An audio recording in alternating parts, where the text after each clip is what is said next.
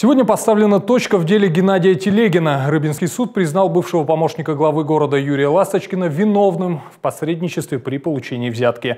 Из зала суда наша съемочная группа. Заходи, заходи, что ты? Этот жест адвоката Геннадия Телегина журналистам яснее любых слов, никаких комментариев не будет. В коридорах суда в окружении фото и видеокамер бывший помощник мэра оказался растерянным. Ну, давай тогда пошли туда. Пошли туда. Туалете спрячемся. Уголовное дело в отношении Геннадия Телегина было возбуждено в октябре прошлого года. По версии следствия, через него директор муниципального предприятия «Теплоэнерго» Владимир Иванов за сохранение должности передал деньги главе города Юрию Ласточкину. 15 июля и 22 октября Телегин получил от руководителя предприятия и передал Ласточкину часть взятки в общей сумме 1 миллион рублей. 24 октября он был задержан при получении очередной части взятки в размере 1 миллиона рублей.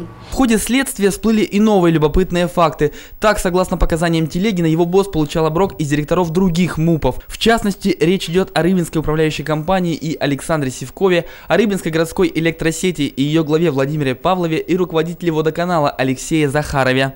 Телегин Геннадий Николаевич, виновен в посредничестве во взяточничестве, то есть непосредственно передаче взятки по поручению взяткополучателя в особо крупном размере. Суд приговорил Геннадия Телегина к пяти годам условно с испытательным сроком в 4 года. Кроме того, бывший чиновник должен будет выплатить в казну государства 4 миллиона рублей штрафа. Впрочем, защита Юрия Ласточкина не считает, что обвинительный приговор Геннадию Телегину как-то повлияет на дело самого главы Рыбинска это не является каким-то либо превалирующим доказательством виновности Ласточкиных. Экспертизы, они же, если не подтасованы, то они реальные. Вот объективное доказательство, кто о чем говорил. Вот насколько я знаю результаты фоноскопических экспертиз, они велись между, в основном, Ивановым и Телегиным, где обсуждалась тема якобы передачи денег Ласточкину. Но я могу тоже обсуждать эту тему кем угодно.